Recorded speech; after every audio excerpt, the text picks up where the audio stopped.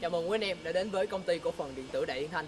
Kính thưa quý vị, ngày hôm nay chúng tôi đã mang tới cho quý vị một trong các cái cấu hình phải nói là uy lực và mạnh bậc nhất của DAVS chỉ với mỗi loại loa chủng loại ở đây mỗi thứ một cặp thôi và chúng ta hãy cùng kiểm nghiệm xem nó là những thành viên nào nhé.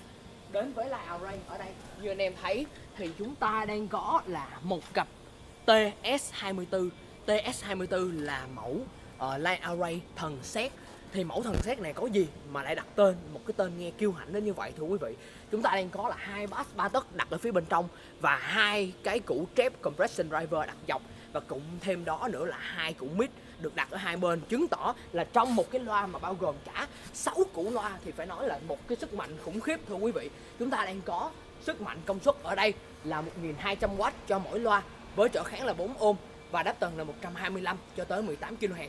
Ta hãy cùng kiểm nghiệm xem là với một cái sự kết hợp kỳ lạ như vậy thì cái áp đảo của âm thanh cũng như cái sức lực của nó sẽ đánh được mức nào nhé. Dĩ nhiên, đối với full thì phải có sub. Subwoofer là một trong các thành phần không thể thiếu được trong hệ thống của chúng ta. Ở đây chính là đại bác.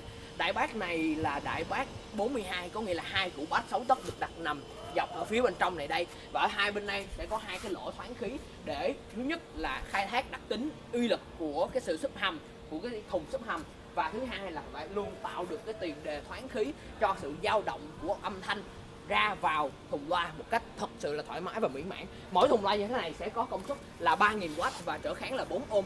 Với đáp tần là từ 30 cho tới 125 Hz thì quý vị và chúng ta ở đây hãy cùng xem là sự kết hợp này nó sẽ cho ra một cái chất âm như thế nào nhé.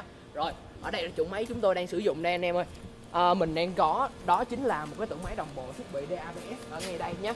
Và chúng tôi đã tiến hành đo đạt xong hết tuning hệ thống rồi. Đó thì quý anh em có thể xem rồi à, không không dài dòng nữa. Thì kính mời tất cả những cái quý vị đang xem video hãy cùng chiêm ngưỡng chất âm nhé. Chúng ta sẽ đi đến một bài DJ nhé anh em.